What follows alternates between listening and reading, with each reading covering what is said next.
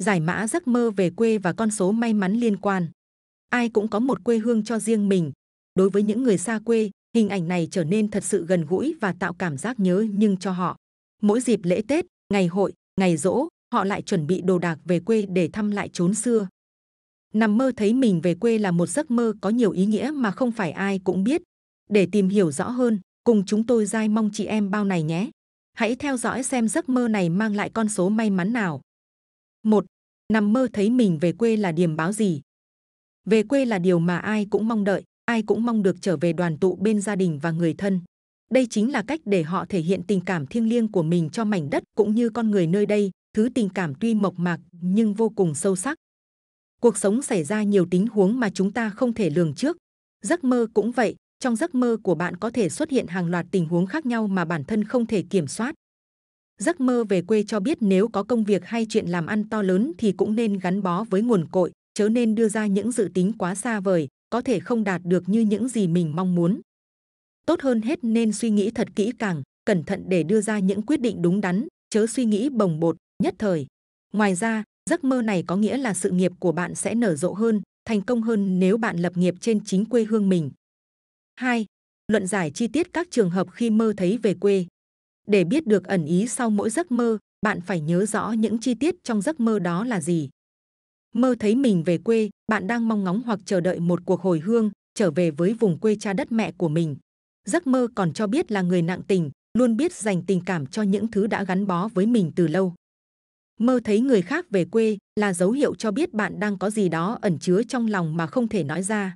Có thể đó là những điểm xấu, điểm bất lợi trong quá khứ ảnh hưởng đến cuộc sống hiện tại cả bạn hoặc đó là những dự định, kế hoạch trong quá khứ còn dở dang, bản thân chưa hoàn thành được. Giấc mơ này nhằm nhắn nhủ rằng bạn hãy tin tưởng vào bản thân mình, có đam mê, niềm tin thì mọi chuyện đều trở nên dễ dàng.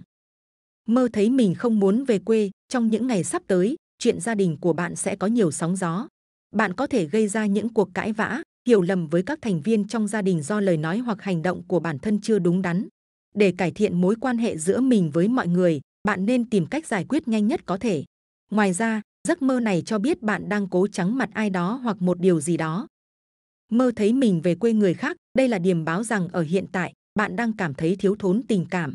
Mặc dù quen biết nhiều người, có nhiều mối quan hệ khá thân thiết những bạn cảm thấy bản thân luôn cô độc, không có người chia vui sẻ buồn mỗi khi gặp chuyện khó khăn. Mơ thấy mình đi xe đạp về quê, chứng tỏ rằng bạn đang trong trạng thái vô cùng mệt mỏi, bản thân muốn tạm gác lại mọi chuyện, tìm về chốn yên tĩnh để nghỉ ngơi, giải thoát khỏi những căng thẳng, lo âu về công việc, tiền bạc đời thường. 3. Mơ về quê đánh con số nào?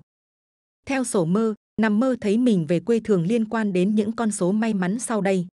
Nếu trong mơ, bạn thấy mình về quê bằng máy bay thì con số may mắn là 21, 71.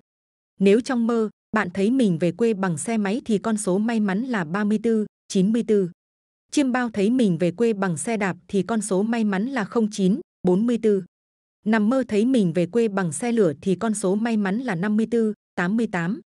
Mơ thấy mình về quê bố mẹ thì con số may mắn là 37, 78. Chiêm bao thấy mình về quê vợ thì con số may mắn là 56, 79. Trong giấc mơ, nếu bạn thấy mình về quê bạn gái thì con số may mắn là 44, 64. Nằm mơ thấy mình về quê đồng nghiệp thì con số may mắn là 32, 61.